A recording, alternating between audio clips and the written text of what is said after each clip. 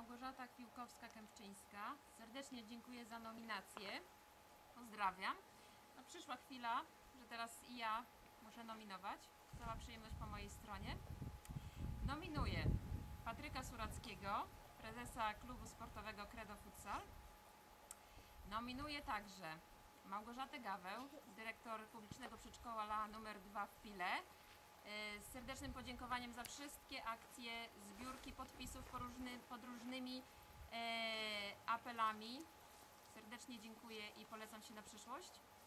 Małgosiu. Nominuję e, Monikę Mirską, moją kochaną siostrę, ona wie dlaczego.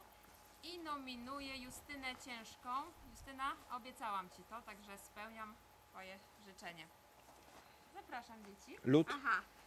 Na dowód tego, że jest to zimna woda z lodem. Raz, dwa, No malutwa. trzy,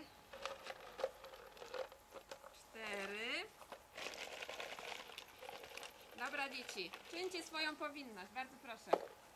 Na początku Olga. Na trzy, cztery, do, dookoła mnie. Ale poczekajcie, na trzy, cztery, dobra? Olga, chodź tutaj. Chodź. A, od, no, odsłoń mój tutaj. najgorszy dzień w historii. Ty musisz tutaj, poczekaj. Poczekaj. No. Trzy,